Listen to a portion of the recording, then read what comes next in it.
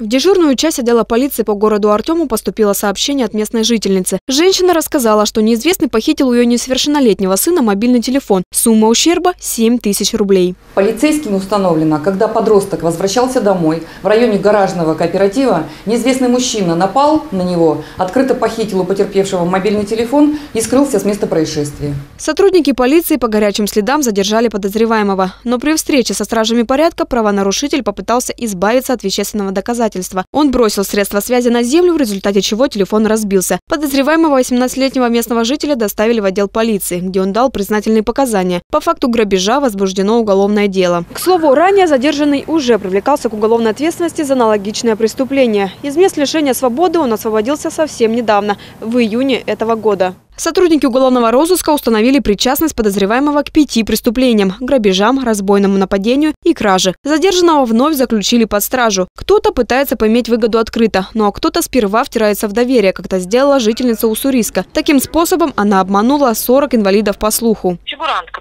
представлялась своим жертвам, работникам э, московской страховой компании и обманывала их о возможности этой компании произвести оплату кредитов при наступлении некоего страхового случая. При этом, согласно условиям так называемой лжестраховщицы, 60% от суммы выданного потерпевшим банковского кредита и сам кредитный договор, они должны были передать ей. А 40% могли оставить себе в качестве денежного вознаграждения. Действуя по этой схеме, женщина собрала с доверчивых граждан более 8 миллионов рублей. В итоге суд признал обвиняемую виновной по статье мошенничества и приговорил ее к четырем годам лишения свободы. Алина Черненко, Дмитрий Сухоруков. Новости на восьмом.